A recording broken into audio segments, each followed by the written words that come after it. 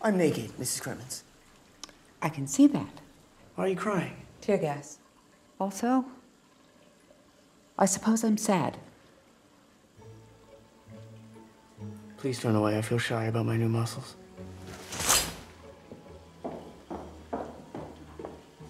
Go tell your parents you're home. They're worried. I'm expected back on the barricades. I didn't see any barricades. Well, we're still constructing them. Uh huh. What are you writing? Our manifesto? I told them not to invite Paul, by the way. Maybe you're sad, but you don't seem lonely to me. Exactly. I saw you at the protest on top of a bookcase taking notes. Is there a story in us? For the people of Kansas? Maybe. Then you should study our resolutions. Or anyway, will you proofread it? My parents think you're a good writer. Give it to me.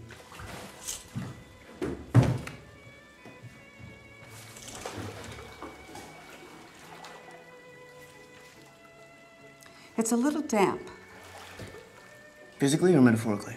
Both, based on the cover and the first four sentences. Don't criticize my manifesto. Oh, you don't want remarks? I don't need remarks, do I? I only asked you to proofread it because I thought you'd be even more impressed by how good it already is. Let's start with the typos.